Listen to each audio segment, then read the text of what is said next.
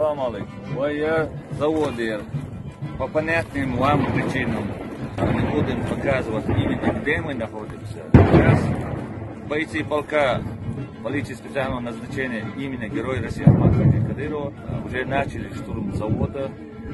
Есть результаты. Иншаллах мы покажем этим нацикам, шайтанам, этим бандеровцам, кто такие настоящие чеченцы. И вы уже знаете, потому что процентов, можно сказать, 40 процентов, как мы приехали, мы освободили город.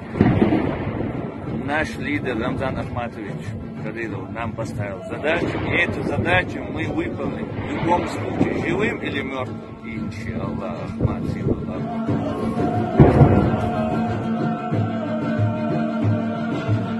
Lembo,